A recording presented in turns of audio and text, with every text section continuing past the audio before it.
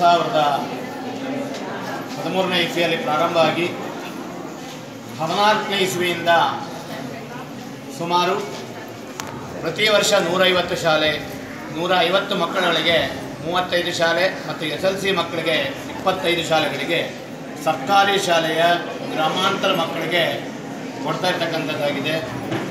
ಒಂದು ಸಾವಿರ ರೂಪಾಯಿ ಚೆಕ್ ಮುಖಾಂತರವಾಗಿ ಎಸ್ ಎಲ್ ಸಿ ಮಕ್ಕಳಿಗೂ ಎಸ್ ಎಲ್ ಸಿ ಮಕ್ಕಳಿಗೆ ಒಂದೂವರೆ ಸಾವಿರ ಹಾಗೂ ಸೆವೆಂತ್ ಸ್ಟ್ಯಾಂಡರ್ಡ್ ಮಕ್ಕಳಿಗೆ ಒಂದು ಸಾವಿರ ರೂಪಾಯಿಗಳನ್ನು ನೀಡ್ತಾ ಇರ್ತಕ್ಕಂಥದ್ದಾಗಿದೆ.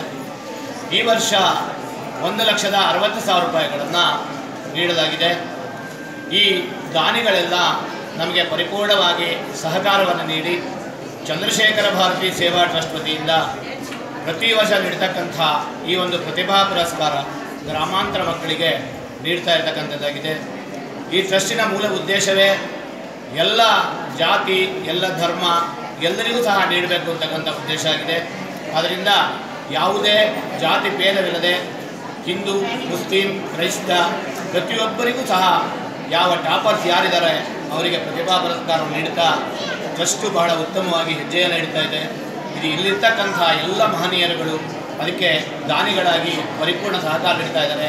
ಅವರೆಲ್ಲರಿಗೂ ಸಹ ಹೃದಯಪೂರ್ವಕವಾದ ಧನ್ಯ ಧನ್ಯವಾದಗಳನ್ನು ಅರ್ಪಿಸ್ತೀವಿ. ಈ ಒಂದು ಮೀಡಿಯಾದವರು ನಾವು ಮಾನ್ಯ ಗೀತಾ ಮೇಡಮ್ರವರು ಅವ್ರನ್ನ ವ್ಯವಸ್ಥೆಯನ್ನು ಮಾಡಿದ್ದಾರೆ.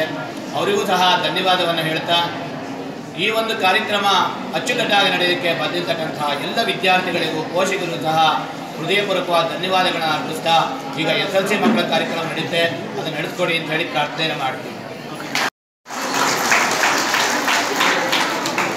ಮಹಾದೇವ ಪ್ರಸಾದ್ ಮಾರೇಶನಹಳ್ಳಿಯಿಂದ ಬಂದಿದ್ದೀರಾ